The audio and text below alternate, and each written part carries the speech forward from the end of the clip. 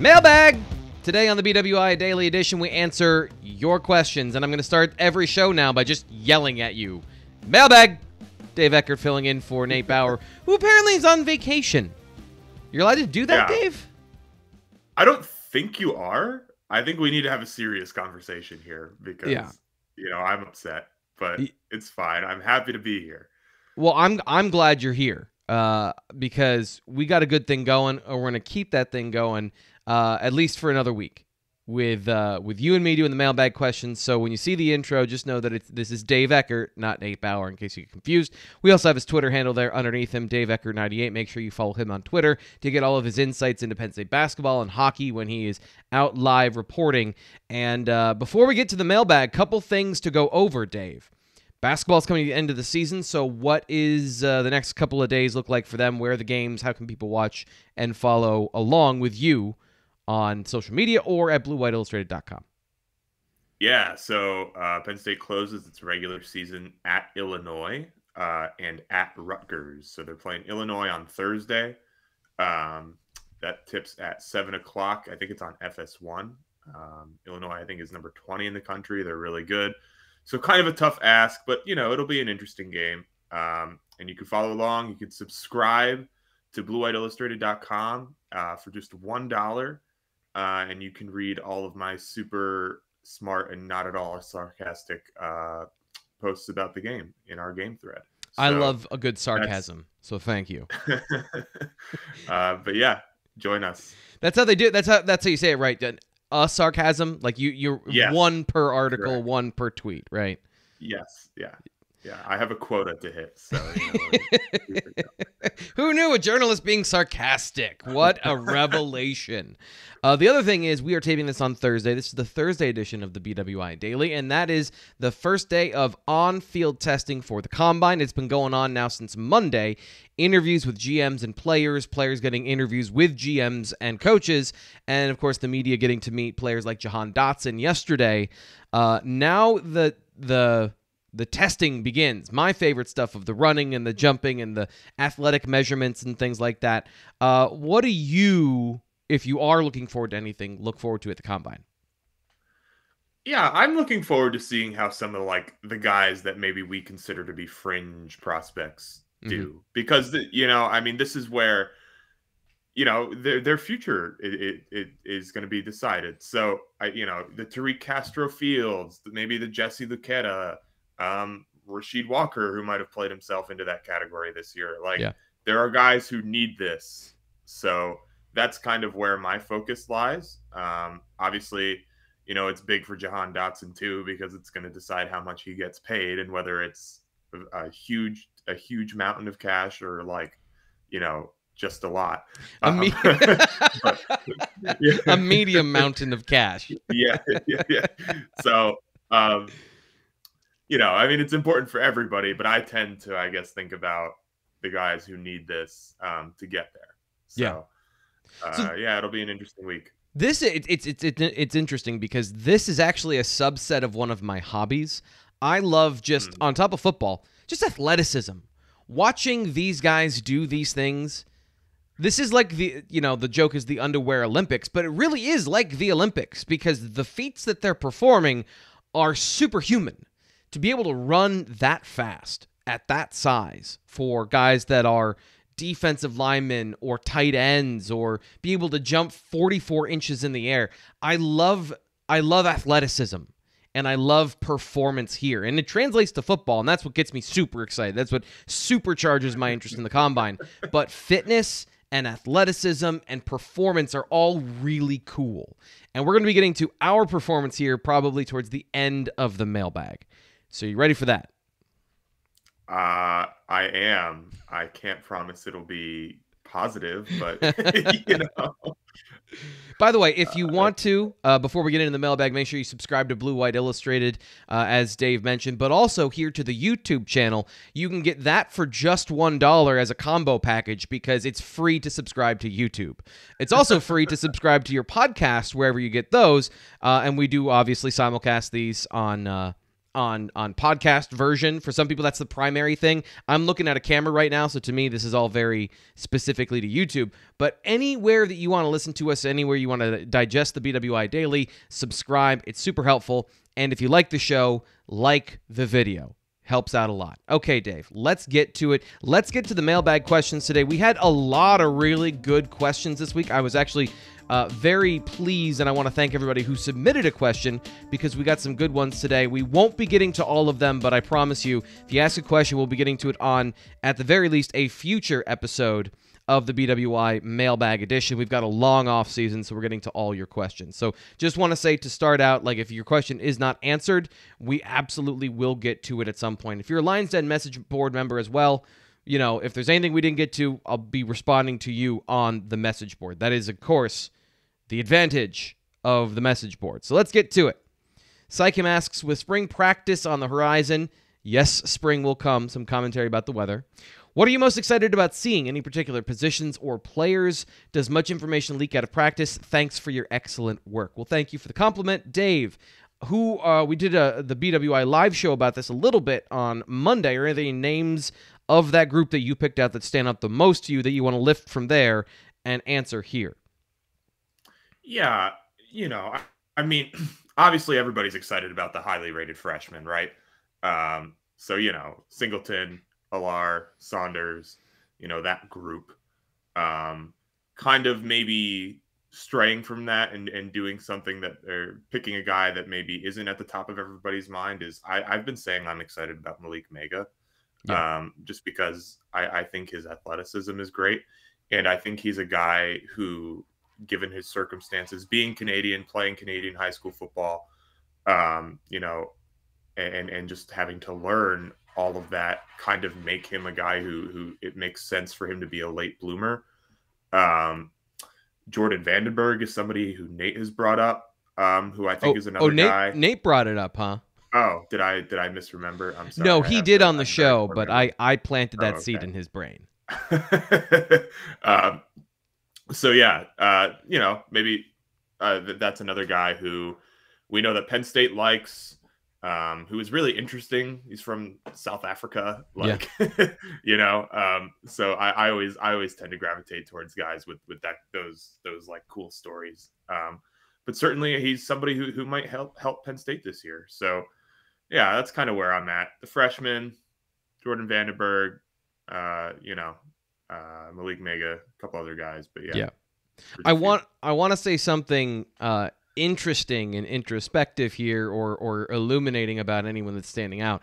There are so many of them this year that I, I I'm having a hard time picking like Dave just said, but I'll answer the first part of the question with the second part of the question, which is a lot of information doesn't leak out uh, from yeah. especially winter workouts, but what has come out and uh, if you want to go back and listen to the Tuesday episode of the BWI Daily, which is our recruiting podcast uh, with Greg and Ryan, uh, Ryan said that the the hype about Zane Durant is real.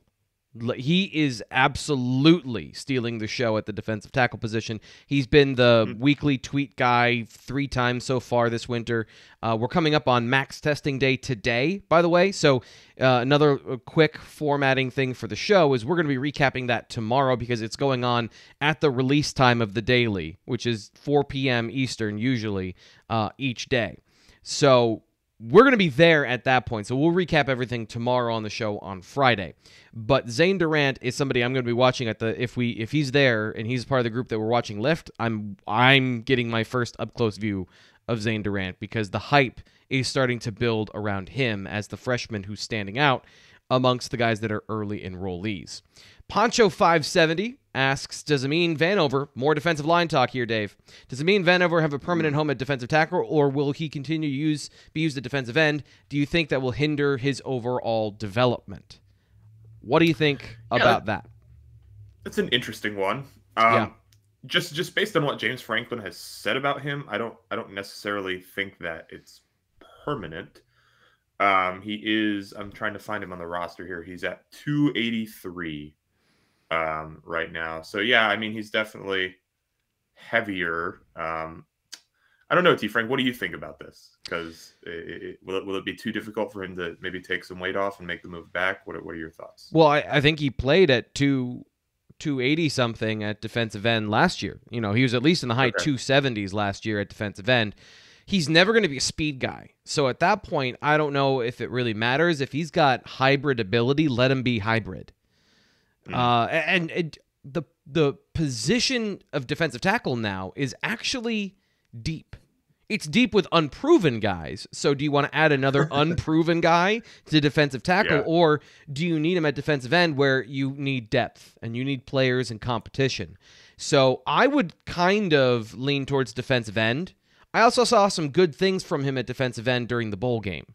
So not a world beater by any means, but a, a guy that looked like if you gave him some time there and let him be who he is, he could be a power player at defensive end. Long arms, pretty strong, uh, not great burst. That's obviously the problem. Is can he be 300 pounds and do that as a as a three technique, or do you does he have the you know the leanness that isn't going to make him a good run defender? So I still need more information on Amin Vanover. Uh, truthfully, I, yeah. this spring is going to be important for my evaluation of him. Do you? I, I mean, obviously, this feels like something that could probably be influenced by whether or not they land some help at defensive end or defensive tackle. Yeah, um, in the transporter also. So, um, just generally, I think having guys that can do multiple things is a good thing. Um, right? I mean, it never hurts you. Yeah. So, I think he's a good answer to something that we saw last year with when teams go heavy against Penn State, if you put Amin Vanover at defensive end, there's your defensive tackle. There's putting your goal line package out there. Now, I think Penn State's going to be pretty steadfast in that they're not going to overreact to that. But if they're mm-hmm. not thinking that that's going to happen when that's happened to them two of the last three years, that somebody's going to go six offensive linemen. And by the way, Minnesota, that's just a part of their offense now. It has nothing to do with Penn State. They go six O linemen all the time. It is it is kind of I know that I'm gonna get blasted for this, but it's kind of sad that like that's their plan. Like we're Careful, gonna. Frank. we are Careful, gonna be, we're gonna be less multiple. we are going to go backwards in time, and we are going to be less of a threat through the air with six offensive linemen and a fullback and a tight end. And that's how that is their plan of attack at Minnesota. Now Kirk Ciarrocca is back there. We'll see if that continues. But um, yeah, it's it's something Penn State has a realistic possibility of seeing and having that versatility isn't a bad thing. Also, Dani Dennis Sutton's really good against the run. So a lot of those problems can be solved by just having guys that are way better at shedding blocks and getting into the backfield. Uh, so let's move on to uh, John Ashley. John Ashley, this is actually a, an interesting one that goes back to that defensive end conversation on Twitter at Bosfield1. Is it safe to assume, since we haven't heard anything about Adisa Isaac during winter workouts, that he is still sidelined? Dave, we had um, information from James Franklin that that's not the case after the bowl game, correct? Yeah, he was. James Franklin was tweeting about him running, I think is what that tweet said. Okay. Um, or no, he didn't tweet about it. He told Steve Jones, and then somebody else tweeted about it. The internet is confusing. It was on. Um, it was on one of the coaches' shows. Yes, um, but yeah, I mean, he's doing some stuff. Uh, the extent of that stuff, we don't know. Um, but you know, we'll, we'll be able to talk to James Franklin soon once spring practice practice starts here. So, yep, yeah. Um, I think unless he's had a setback, he's been participating in it to some degree. Um, but we'll see exactly where he's at soon here coming up. Yeah, and we'll also have a chance to talk to um, uh, Chuck Losey uh, as of recording today about who's standing out in the weight room, who's making strides. We'll get some insight. We won't get injury information, but part of strength is is rehab and all of those things. So we might get more information on this uh, in the coming hours before, you know, as of recording. I, I, usually try to make these sound like they're uh, in time, but this one is such a, a mess today that, you know, by the time you're listening to this, the information is probably out. So don't pause this yet because we got great stuff to come, but make sure you're looking for that uh, as soon as you're done here on the BWI Daily. Uh, where do we want to go next? This is a great question, actually submitted to me uh, directly on our Facebook message board. Um, and and I it was such a good question that I wanted to bring it up here on the show. So local PSU asks, Uh, I'm baffled why Ellis Brooks gets ignored by everyone in the draft process. Are his measurables that bad? He was dominant all in the middle all season long for PSU, and they suffered when he was not in there. Love to hear what you see of him in the upcoming draft. I'll, I'll let you start, even though this is addressed to me because guests get to go first. What are your thoughts on Ellis Brooks in the draft and his his overlooked status, not at the combine, especially? Yeah, I don't know. I he he's to me he seems productive college player with maybe without the athleticism necessary to to to to be a factor at the next level. That's kind of what my read is and and and continues to be. But but T Frank, you're you're the expert here in, in this stuff, so I'll turn it over to you. Yeah, great at football, and that uh, if he were to be at the combine, I would say that he is one of the three best players at his position from Penn State this year, with Dotson, Brisker, uh, Ebiketie in that conversation, and Ellis Brooks. He would be probably fourth on that list of guys that are really good at their position. And I might even put him ahead of some of those guys because his skills. One of the things that I saw last year that was different was Penn State was running more cover two, like true cover two, because Ellis Brooks was on the football field and could handle it. And if you've ever seen Tampa 2 is what it's called because the Tampa Bay Buccaneers ran this in the early 2000s and got to a Super Bowl with it. What it does is it it it, it takes advantage of an athletic middle linebacker that drops 10 to 15 yards in the middle of the field to protect the middle so that the safeties can take away the deep shots. So essentially it's it's it's a hybrid sort of defense with two high safeties. You've got to have a really smart athletic linebacker that can handle running downfield. And that is counter to what Ellis Brooks's profile is, but he was able to handle it. His presence in the middle of the field denied a lot of passes that were not thrown, and I think that he had a large hand in that. But when it comes down to it, I was watching him in whichever bowl game he was in, whichever um, uh, uh, Senior Bowl sort of thing, All Star game he was in. There was a play that our Nate Bauer clipped and put up for everybody over on the message board, and it was just it was him not getting his hands on a pass because it was too high over his head. And I think that is the the concern at the next level for for NFL evaluators is is he long enough? Is he fast enough? Is he big enough? You know, you have to have some combination of those things to be a starter at the next level. But as I said yesterday on the daily, the NFL doesn't know what it wants in linebackers. They have no idea what yeah. they need. And Ellis Brooks is good at football. So maybe he goes undrafted, but he's absolutely going to make a team next fall because he's too smart, he's too good at his position, and he has too many ways to help your team. So I agree with the question. He is being overlooked, but I also understand why. So if he were to go to the combine, he might not run well. He might run a 4 7 or something like that. I don't have a confirmed time on him. And then, you know, some of the other measurables, I, I He's never seemed like a long football player, and I'm actually trying to look up his length that I can find right now. Um, but those are the things that are holding him back, I think, at this point. Yeah, you know, it makes sense. Um, yeah, it's always interesting to me, like the dynamic between okay, he's he's excellent at the college level, but we just have these things where we're not willing to like compromise on when it comes to you know whether or not they'll make good pros. I don't know. Yeah, the, the, the whole like that that whole I guess process is kind of mystifying to me. Yeah. But you know, um, as you said, certainly there are going to be opportunities for him, um, even you know, despite the snub here. So hopefully it works out. Yeah, sub 31 inch arms is a problem. At least as far as I've, I've found in, in some of my records going back to his recruitment, that it's not a strength of his. And some teams will absolutely just take you off the board if you don't meet certain physical dimensions because there's evidence at the NFL level that if you don't look this way and have these sort of traits, then you won't be successful because we've tried enough times at that level that they uh, that it's just not a thing.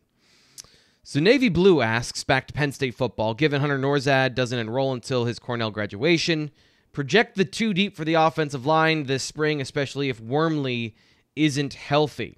Okay, so this is a this is this is a hard thing to do on the fly, honestly, Navy Blue. Um, it is. Uh, so right. let's let's let's do this by position. I think this will be easier to go left to right. So left tackle is Olu Fashanu. That one's pretty clear.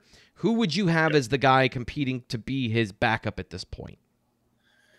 Yeah, that's a good question. Um, I feel like we don't really know a lot about the other options, right? Yeah. Um, Jimmy Christ, Bryce Effner. We really haven't heard anything about Ibrahim Traore. Yeah. Um, does Drew Shelton, you know, is he so good that he's in that conversation already? I don't know. I, I would say no. I don't know. He needs time. Yeah. So, Yeah. Yeah. I would not Um, count. I would not count on either of the freshman tackles at this point this year. Both have development things they need to get through from either a size or an athleticism perspective, where they won't. They will. They are not going to be factors this year, in my opinion. Yeah. I feel like it's Bryce Effner.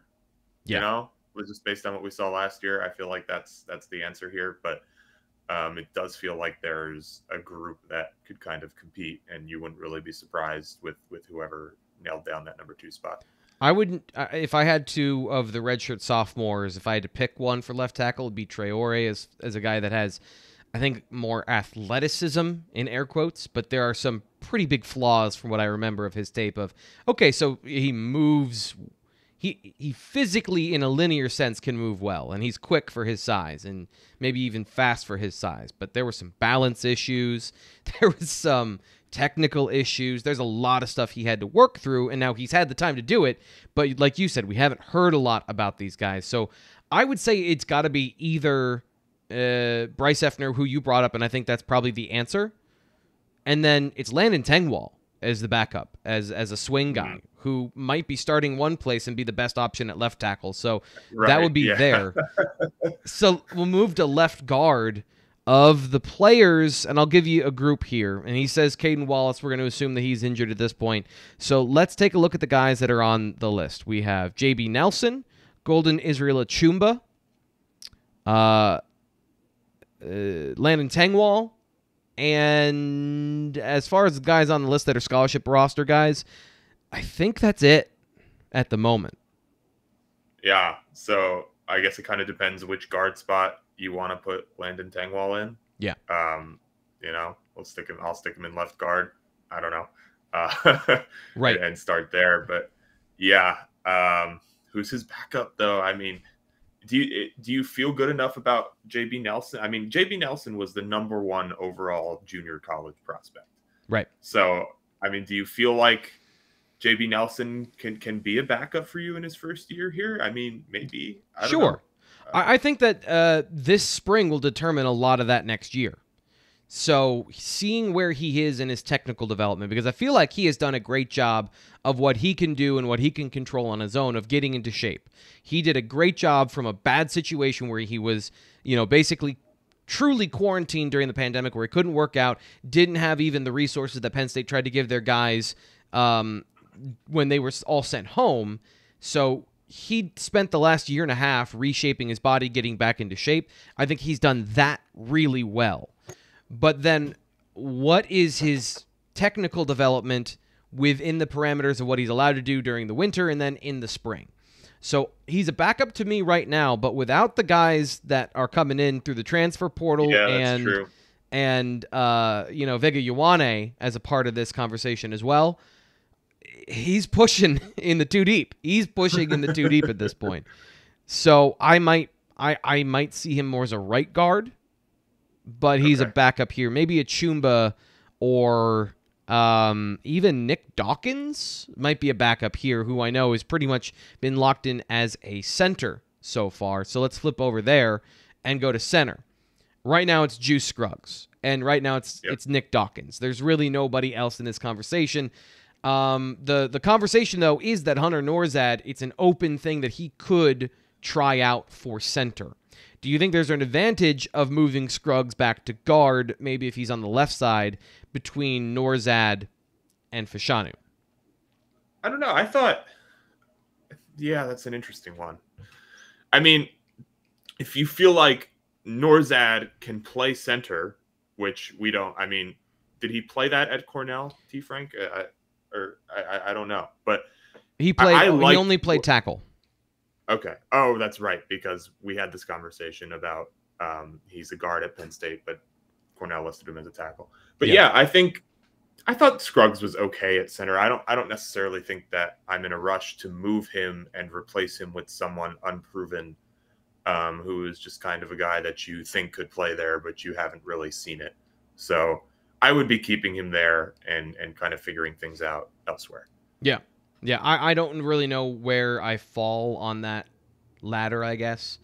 Penn State has has routinely faced a specific defensive front that is designed to mess with the center. You know, that, that puts a nose tackle over top of the center and it messes up the blocking scheme for zones when it comes to the guard and tackle combos. So having a guy that can just say, okay, you know what we're going to do? We're going to destroy the nose tackle. Hunter Nourzad has more of that profile than Juice Scruggs does. So that's why I think it's an open conversation going forward as far as fit and strength. And honestly, that was what uh um oh my gosh, who uh played there last year. Center, the starting center for Penn State last year, total brain fart. Uh, that's what he was supposed to be able to do. Uh, and then Mike it just Miranda? Mike Miranda. Thank you, thank okay. you. That's what Mike Miranda's profile was between the two between the two the two or three right. options there was he was the more physical player coming from guard. That was the idea that just didn't work out. Uh, so if you want to try that again, I, I think that's the the open conversation there. So then we go to right guard. Who do we have left? Who's left?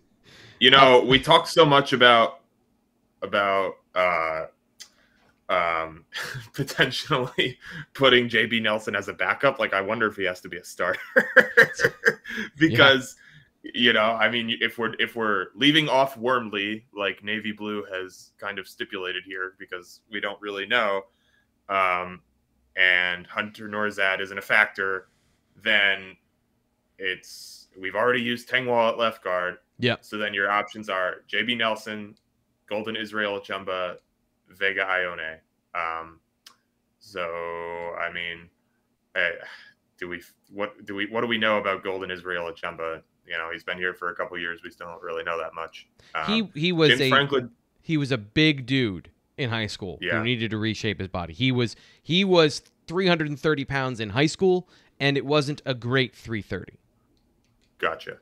Um, James Franklin, which I thought was interesting, did kind of say, "Hey, we think Vega Ioane can can play early." Yeah. Um, so maybe Vega Ioane is your backup left guard or your backup guard in general and you put JB Nelson starting at right guard under these circumstances? I don't know. Um, yeah. So, you know, there again, there's three guys that we've got to kind of pick here that we haven't really heard a ton about from the coaching staff. So, I don't know. Um, I think I would probably go with JB Nelson just based on his junior college credentials, if I'm yeah. being honest. Um, but it's a tough one. I mean, if we're taking out two of the main contributors here, then yeah. Yeah. If we're if we're going into because that's what this is saying is you go into the depth and that's what you got left. So that's a great yep. point. And then just to wrap it up, the the two on the right side is Caedan Wallace, and then Jimmy Christ would be the primary backup if he if he can push for that. That's this is that's his job this spring is to be the backup right tackle.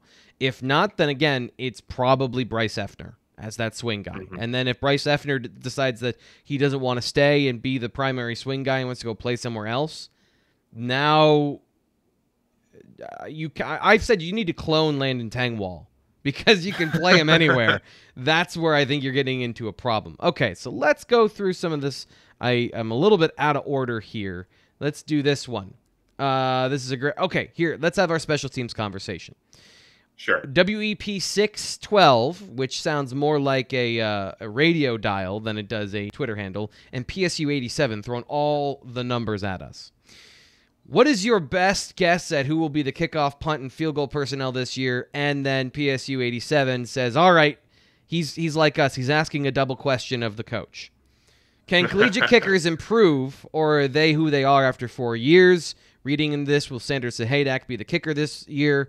Uh, it's a two question question from the two question guy. So Lion 09, Lions 09 on Twitter getting his double question in. So basically, let that's what they want to know. Kicking game, what are you expecting Sure. this spring? just as as a quick tip to Lions 09, never ask two questions in one because it gives the person you're asking the choice to just pick one and ignore the other. Um, but uh, you know, I, I guess I would assume that the field goal kicker is going to be Jake Pinegar. Um, Yeah. Right. He's no longer injured. Um, he's a guy that Penn State has trusted in the past. Um, that's just that seems like it makes sense. Um, the other two, I think, are a bit more up in the air. Uh, The, the punter, I would guess, is Alex Bacchetta. Um, i- Mhm. If I had to guess right now, who um, is I think the top punter in the country by Kohl's kicking, if I'm remembering correctly. Um, He's a true freshman, so I would guess that that's going to be Alex Bacchetta. The kickoff thing, I, I have no idea. It's gonna whoever has the biggest leg. ball. It's Yeah, it's going to so be whoever whoever has the biggest leg, and and that might be Sahaydak. I, I don't I don't really know. Haven't seen him kick for the most part. Yeah, Uh, I will say that uh, Barney Amor came back for his sixth season this year, so he thinks he has Yeah, a good opportunity to be uh, the the the punter this year. I still want to see Gabe Nwosu at six six three zero two be the punter. Uh, Think of all also, the fake punts, Steve Frank. Think of a Yeah. Let's. He's a fullback back there. He's a fullback. you're giving. You're giving him like a ten yard head of steam to get your one yard on fourth and one. even better, Do it. even better, he's the lead blocker on fake field Oh. goals. So, uh, you know, he's the holder, and then he holds the ball, tosses it to the kicker, and lead blocks at 66302. He also is the backup left tackle. We've solved it there. He's like, I'm assuming he's got the length to play there. So, you know, we're going to see if he can, he can, instead of doing all the kicking duties, he plays on multiple places on the, on the depth chart. So I think that's a great way for both of these guys of saying, uh, we don't know. we Yeah. the veteran's going to get the opportunity first because there's more information about them. But Penn State in this area, I think, has shown that they're going to go with who's best, and they have a plan in place of who they want because they went out and got Jordan Stout to come in and and uh, and be the punter when they already had a guy on the roster that was pretty dang good that's punting in the NFL right now. So we'll see. The the the the best player here is going to play, and there's an there's probably a true and very open competition. But yeah, I would say that Jake Pinegar probably has the uh, the upper hand there. Let's see, last couple questions here. We're gonna go with this one from Brian. Brian asks, oh what do you and Dave run in the 40? So, Dave, you are very tall. So, do you have a, I- a long stride? Uh, that that height, T. Frank, has never in my life translated to anything resembling speed. How tall Even are you, when I by the way?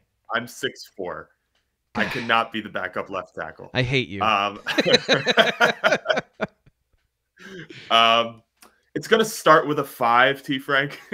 you That's know, good. maybe That's a good. six, maybe a six. Um, you know, it's it's it's gonna be slow. It's gonna be ugly. You're gonna be like, this guy isn't done yet. Like they're they're gonna they're gonna get the hook off the stage Yeah. or to hook me behind the curtain because I'm gonna be taking so long running the forty.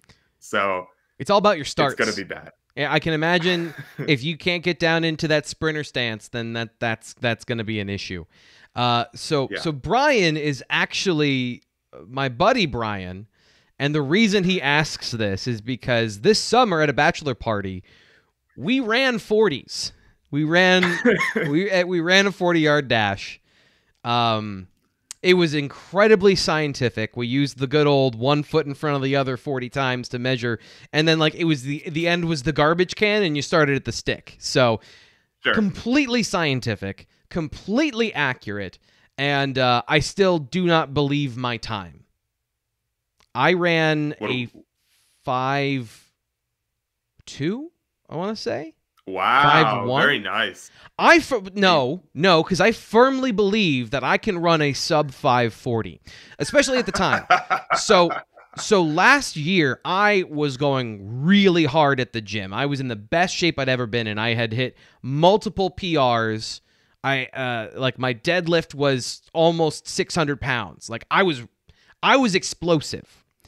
We had gone hiking earlier, and we were running 40s. And and to the reason I say that is because I was uh, doing some really dumb stuff while we were hiking in gorges and I was basically rock climbing and I was probably a little bit sore from that because we did all of that then sat down and drank beer for three hours uh, and and we're talking and, and, and BSing and then we ran 40s so the long. Are you saying that's not what Jahan Dotson is doing today? to probably not and if he did he would also tear his hamstring like I did so oh, I Oh, was no. I was remembering all of my training in the 40, everything I'd ever heard on the NFL network about how you're supposed to really reach your foot out and with your toe and pull yourself through and all of those things. And my start was great.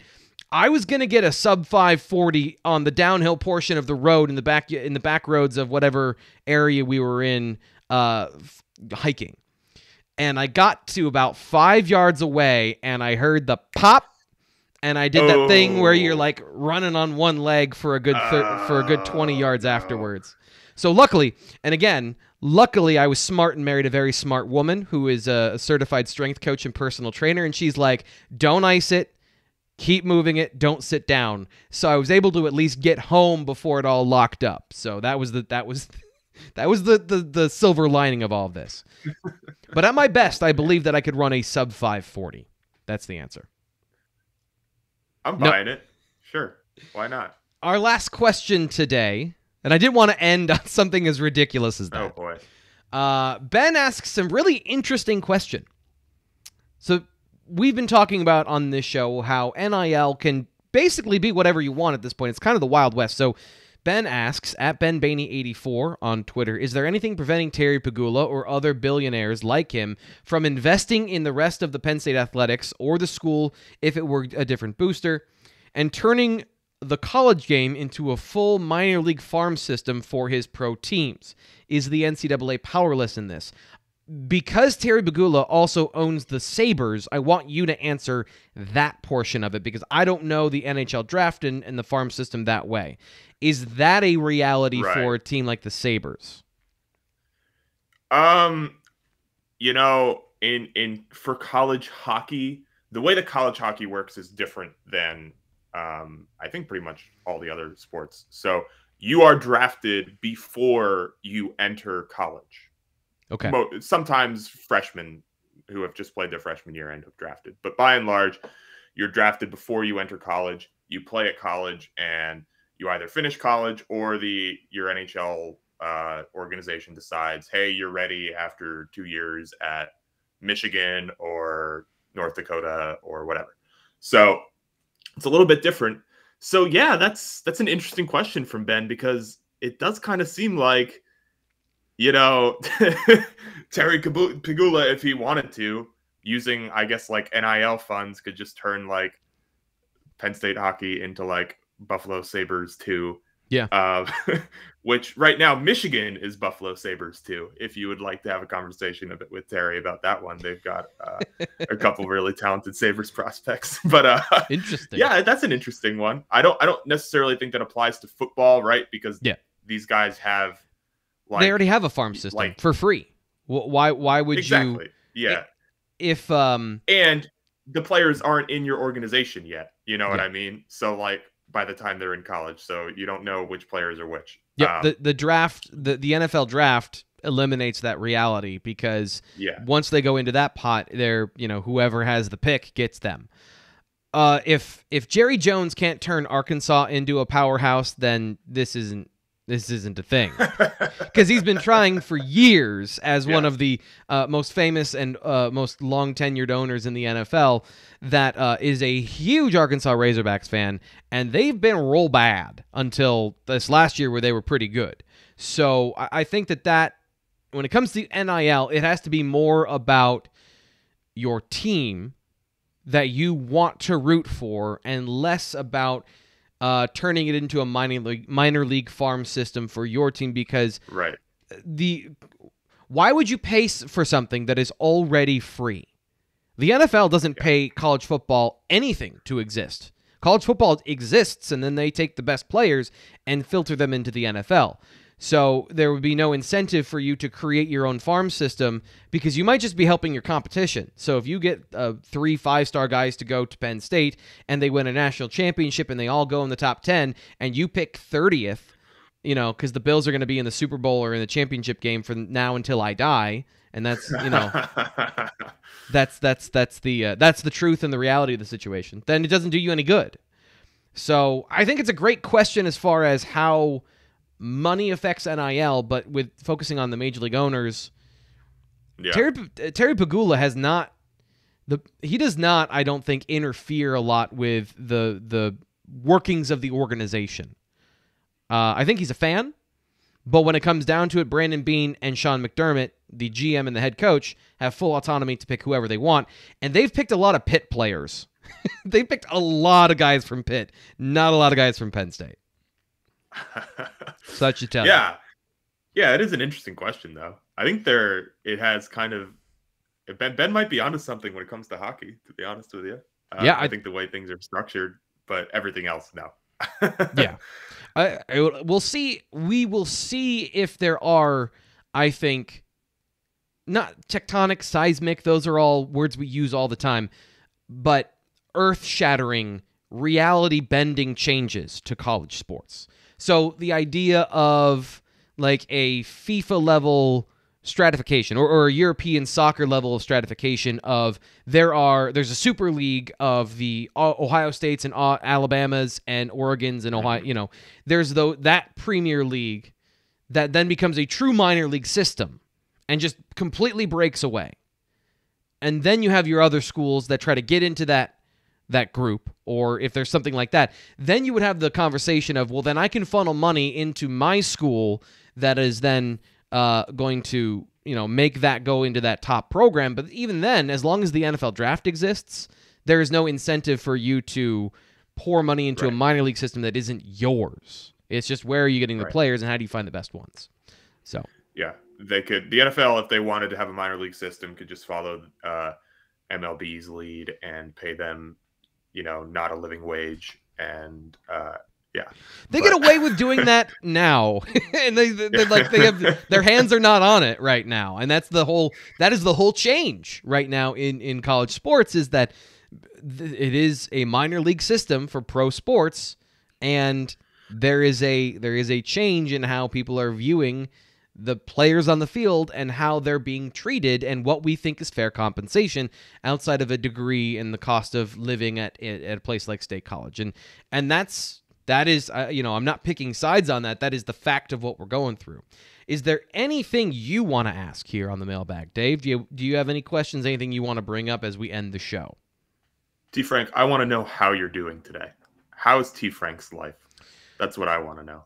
Uh so I'm one of those people that will answer that if you ask me the question so do you, do you okay Please. Uh, Yeah. So I- I've had this really annoying thing over the last two weeks. It's called thoracic outlet syndrome, where Oh, basically no. you have nerve pain down your arm. Yeah. Uh, going back to our conversation about running the 40, after the entire football season of, of taking time off from the gym, I went back and my body was like, dude, what are you doing?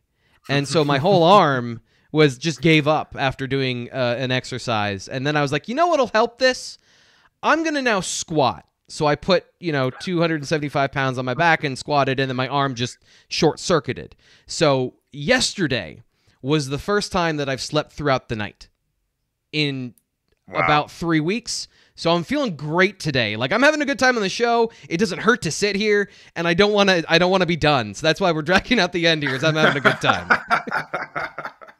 yeah, I'm, you know, you've got you've got the pep in your step today. It's noticeable. I'm Well, glad. I'm excited because later today we're going to go and we're going to get a real taste of actual lifting and actual athletes and not my garbage I'm talking to you about here on the show. So stay tuned for that from Blue White Illustrated, from bluewhiteillustrated.com. You're going to get photos of the event. You're going to get breakdowns of the event. You're going to get uh, the recap on Friday here on the daily edition. And of course, if you want to follow us on Twitter to get our reactions there as well. But the best place to get it, bluewhiteillustrated.com. Sign up for just a dollar, and you get all this information for 12 months. So next season, when we're going into this and it's like, okay, now Drew Allar and Bo Pribula and Christian Veilleux are battling it out to see who's going to be the starter, and we're going and seeing them max pet, max test, and we're seeing all this stuff, you're going to still get all that information for a dollar a year from now. So sign up now, get all that information, get in the know with Blue White Illustrated. And of course, if you like me and you like the show, like this video and subscribe to Blue White Illustrated. It keeps uh, it keeps us dancing with the hat on the on the corner for our money. So Dave, thanks for coming on the show. You got it, D Frank, anytime. Once again, wrap up of the week coming up on Friday. Don't know TBD who's going to be joining me, but we're going to be talking about Penn State's max testing day and who stood out. And of course, our first introduction to Chuck Losey as the new strength coach for Penn State football. All that tomorrow on the BWI Daily. Talk to you then.